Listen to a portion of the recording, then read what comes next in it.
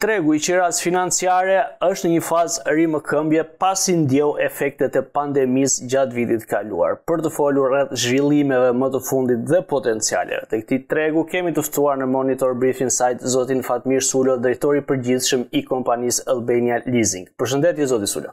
Përshëndetje Ersuin.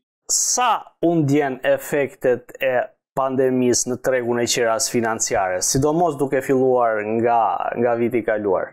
Tregu i qirasë financiare nuk mund të bënte asnjë lloj përjashtimi nga gjithë tregu um, ekonomik në Shqipëri, as dhe nga tregu financiar në Shqipëri.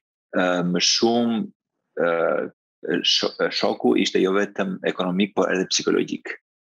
psikologjik i pasigurisë për të ardhmen, pavarësisht se një pjesë e ekonomisë funksionoi, por pasiguria është pjesa më e madhe e kësaj kësaj historie.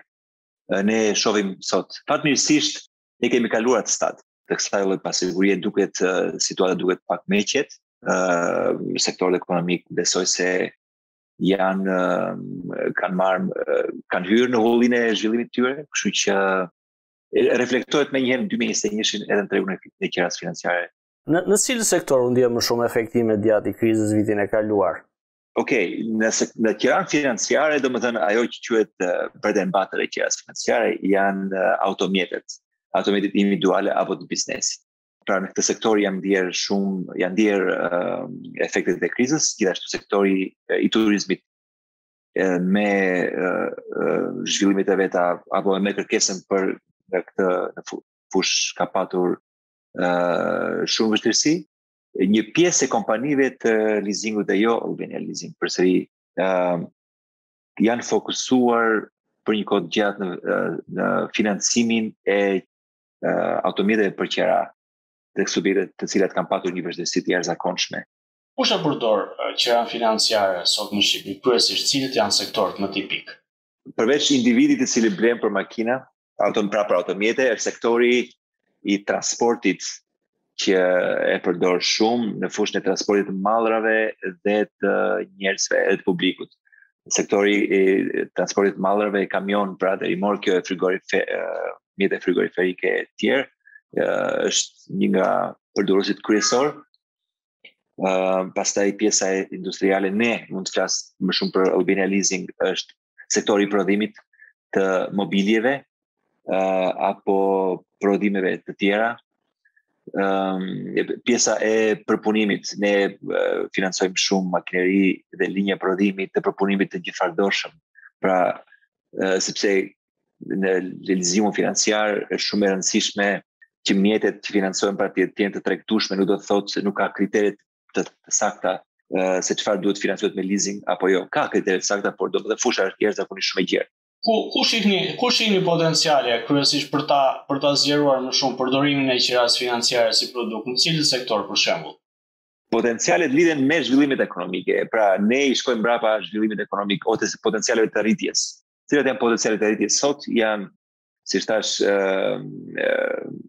e sektor e këto prodhimi i energjisë së rinovueshme nëpërmjet paneleve diellore apo edhe edhe apo edhe strukturave pra eolike. E shohim gjithashtu në një fushë absolutisht të paprekur deri më sot, ë siç është sektori detar. ë ajo që quhet marine leasing. ku në vërtet nuk e kem prekur dhe e, para në fillim nga që preket fillon zhvillimi, i cili ka vetë pak vite ka që ka filluar të zhvillohet pjesa e e jahteve uh, jo vetëm personale por edhe të, të edhe për industrinë turistike, sepse është e tëra është rritur në lidhje me me industrinë turistike. Sektori i transportit gjithashtu se kemi çuar jashtëzakonisht shumë edhe edhe propozime dhe unë kam folur disa herë më parë.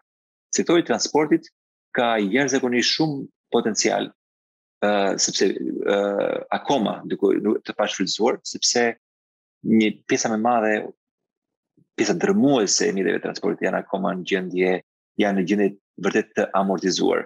Pra vetëm në mos rritja e në mos rritja e numrit të mjeteve por të paktën rigjenerimi i flotave të mjeteve do t'i kthente do t'i hapte kishte potencial jashtëzakonisht të madh dhe ka akoma potencial.